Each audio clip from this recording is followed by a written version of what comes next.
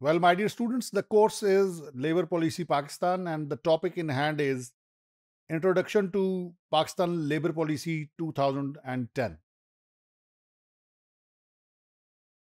Dear students, social and economic well being of the people is one of the principal objectives of the present people's government.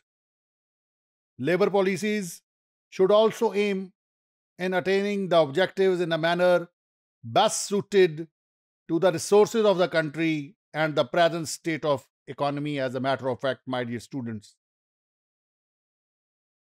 There is an urgent need to revitalize the economy required sustained efforts to increase the level of productivity promotion of investment and maximization of employment in, a, in the country.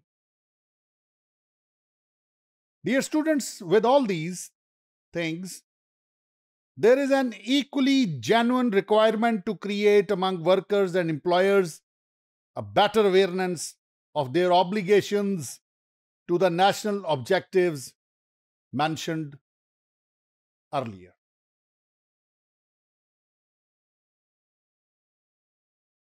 इसके साथ साथ जो government है उसका इस चीज़ पर भी focus है और वो रिकग्नाइज करती है कि workers and employers must enjoy reasonable benefits as can be sustained by the economy without suffering setbacks.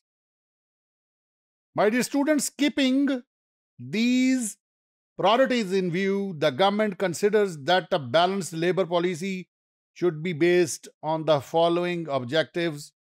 Number one, workers' right to form unions and unions should be protected and an, and an institutional framework be made available to foster close cooperation between workers and employers at establishment level. The second objective or parameter is equitable adjustment of rights between workers and employers should be ensured in an atmosphere of harmony mutually beneficial to the workers and the management. The third point is, my dear students, consultation between workers and employers on matter of interest to the establishment and welfare of workers should be made more effective.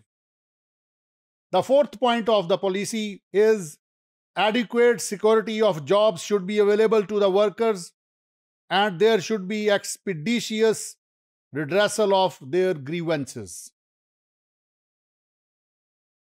The fifth point of the policy is, my dear students, conditions should be created that workers and employers are committed in enhancing the labor productivity. The next point, my dear student, is promotion to higher jobs be ensured at all levels based on suitability and merit, and for this purpose, arrangements should be made for in service training facilities. Hmm. The seventh point is, my dear students, facilities for proper matching of job opportunities and the job seekers. The other two very important points are provisions relating to the employment of children to be strictly adhered to and be enforced. What a point as a matter of fact.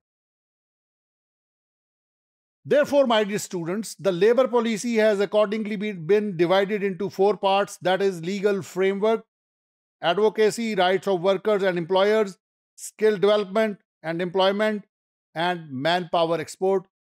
For further detail, you may go to the Wikipedia or the Investopedia or the concerned labor law websites. Thank you very much indeed.